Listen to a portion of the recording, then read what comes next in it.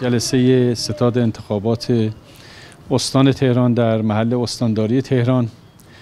با حضور فرمانداران محترم اعضای ستاد انتخابات دستگاه های خدمات رسان و رئیس مرکز فناوری و اطلاعات وزارت کشور برگزار شد.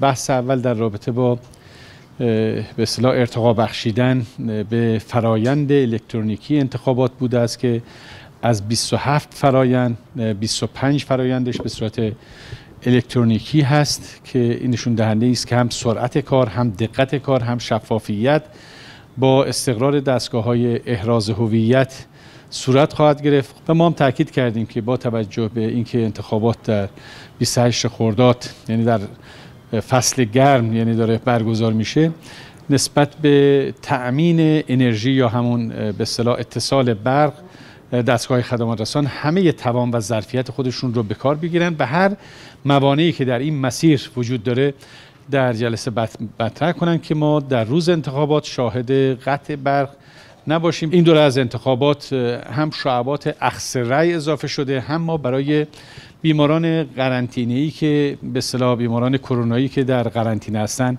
باید شعبات سیارمون رو افزایش بدیم که در محلی که قرنطینه هستن و احیانا در خونه هستن به سراغ اونها بریم و رأی رو از اونها اخذ بکنیم.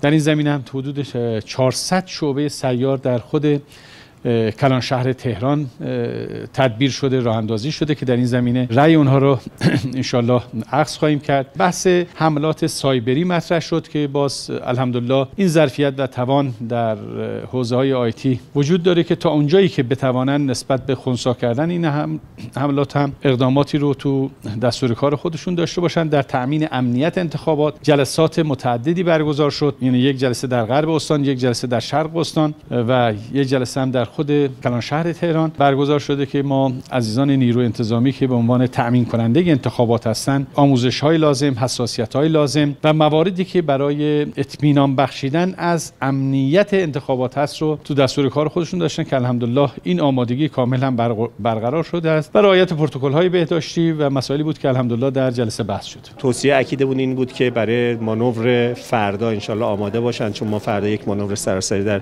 سراسر کشور داریم. تعدادی از شعب رو فعال خواهیم کرد و تستای لازم رو انجام خواهیم داد و امیدواریم انشاءالله با هماهنگی انجام شده بدون مشکل بتونیم ما انتخابات رو به نفع بسیار خوبی اجرا کنیم و برنامه‌ریزی لازم در این خصوص صورت پذیرفته. نکته ای که مهم هست این استش که ما در سراسر کشور در 24 مرکز استان انتخاباتمون رو در شوراهای اسلامی شهر و روستا به صورت تمام الکترونیک انجام خواهیم داد. در انتخاب تمام الکترونیک مردم عزیزمون که مراجعه می‌کنن برای رأی دادن به داوطلبینشون در شوراهای اسلامی شهر روستا به جای تعرفه کاغذی یک طرفه الکترونیکی دریافت خواهند کرد یعنی یک کارت الکترونیکی دریافت خواهند کرد.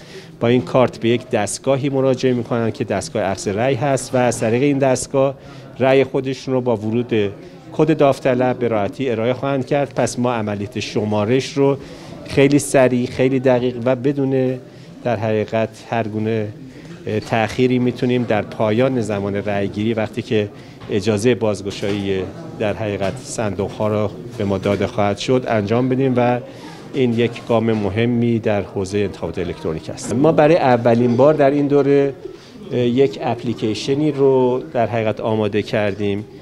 که مردم عزیزمون با مراجعه به آدرسی که خدمتتون عرض می‌کنم انتخاب ایران .moi.ir می‌تونن این در حقیقت نرم افزار رو ملاحظه بکنن. نیازی به نصب چیزی هم رو گوشیشون نیست به راحتی می‌تونن به این آدرس مراجعه کنن و در حقیقت چند تا مطلب مهم رو اونجا ملاحظه بکنن. اونم این هستش که در روز اخذ رأی می توانند شعب نزدیکی به خودشون رو در روی نقشه ملاحظه کنند و سه توصیه اولویت دار ما را که کدوم شعبه رو مراجعه کنید مناسب تر هستش. ما سه اولویت رو اعلام می‌کنیم. ممکنه یه مقدار فاصله شون بیشتر باشه ولی حتما شعبه است که خلوتتر و مناسب تر هستش. هرچند ما در این دوره تعداد زیادی در حقیقت شعبه رو اضافه کردیم. قریب به ده هزار شعبه اضافه شده به سراسر کشور. و این باعث میشه که حتما مردم ما وقتی مراجعه می‌کنن شرایط مناسب تری رو می‌بینن ازدهام خیلی کمتری رو می‌بینن و به راحتی می‌تونن رأی خودشون رو ارائه کنن که این هم مطلب مهمی است. و ما مجموع شعبمون در شوراهای اسلامی شهر بالغ بر 74 هزار شعبه است که حالا در ریاست جمهوری برخیش چون سیار میشه حدود 70 هزار شعبه خواهد بود و از آن می‌تونن مراجعه بکنن